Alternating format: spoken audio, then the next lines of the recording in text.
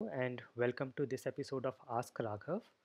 These days, I am getting several questions on the hiring process, on the interview process. I get questions about uh, I have got some of my rounds cleared, but I have still not got any specific reply from the company, from the HR. There are cases where uh, people have given the interview and have given all the rounds, and it has been two, three weeks, and they are still waiting for a call or a response from HR. One of these questions I got from uh, this question is from Shiv, and he says, uh, "Please tell me when the start when will start hiring for software testing."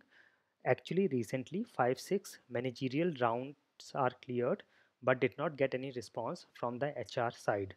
So similarly, there are some other questions. So today, I'm going to discuss these cases that when you have given some rounds and you are still waiting for a final reply, what should you do? Should you wait? Should you check back with the HR? Should you call the company and check what is the status?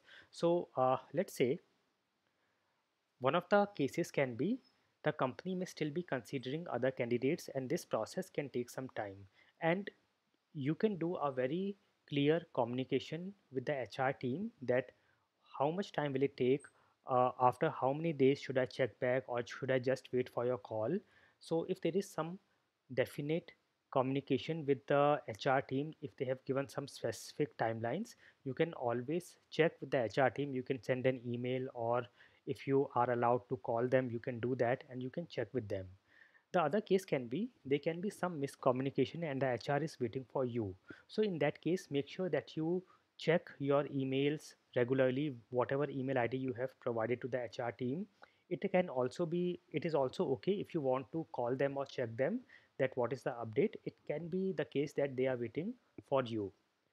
The other case can be the company has already selected another candidate. Now in this case as well you should check with the hr you can send an email and based on whatever you believe is the right time uh, it if it has been a week after all your rounds are done or two weeks it can be a good time after a week or so you can check with the hr team now uh, here I have written that it will be a good idea to send a follow-up email after two three weeks, but you should uh, go as per the scenario. If you believe there is uh, it is not a mass hiring and the position is just for one or two people, it is good that you check within a week or so.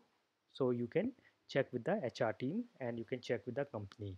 Now whenever you go to a interview process you go through a hiring process there will be some communication with the hr or you can from your end you can inform them or you can check with them what is the process how many rounds are there after how many rounds or after what round will i get a definite answer after this particular round after how much time should i check back? So if you have that kind of communication with the hr you can mention that in your email that as per our communication this is what we had communicated or this is what we understand and this is why i am sending you the email. Now you can send a email something like uh, you can uh, address them dear whatever is the name of the hr i hope this email finds you well. I'm writing to follow up on my recent managerial round interview or whatever uh, interview technical managerial round hr round whatever it is for the position of this particular position. And you can inform that uh, you know i would appreciate if if you are still if you could update me on the hiring process. Are you still considering me for the position? And if so when can i expect to hear back from you? And this is a kind of a, a guideline for you you can change it as according to whatever is your role whatever is the job you are uh, going for whatever communication you had with the hr and if there is some specific timeline they had mentioned you can mention that as we discussed as you inform that we have to check after this particular time. So i'm checking for any updates. So it is always good that you do a communication. Whenever you have a doubt it is okay to do a communication. If you cannot call or do a direct call or message it is always okay to send a professional email and check. If you do not get any reply then it may be obvious that they have considered some other candidate.